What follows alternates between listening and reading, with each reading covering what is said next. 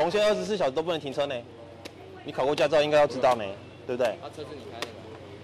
只要刁我是不是？我没有刁你，你红线你刁你什么了？那我的背 就在这边等一下的啦。走了啦！好好讲话啊！你讲什么？你刚刚讲什么？你讲什么？违停红线还并排停车，这名男子下车竟然还敢大小声，当场被压制在地。放下，放下！你涉嫌妨碍公务，不要动！跪！离开。头离开！干你了，我靠！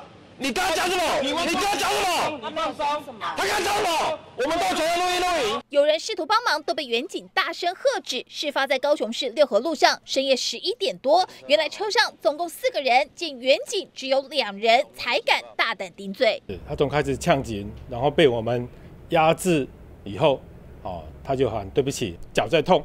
不服取缔的还有这件。凌晨三点多，这辆百万修旅车开进加油站，两部警车上前包夹，一查车牌，发现早就被监理站注销，连驾驶身上都有浓浓酒味。但他不但拒绝酒测，还大小声。空调大了呀！我我没救啊！空调大还是吹下来。不依号志行驶且车速过快，引起我们警方的注意。驾驶打电话找有人助阵，最后被开了一张九万拒测罚单，车牌被吊销的修理车也直接被扣押。根据了解，百万修理车因为逾期未验车才被吊销牌照，驾驶不是车主，但急着到车上拿东西，是否有违禁品还要调查。杰成正义高雄报道。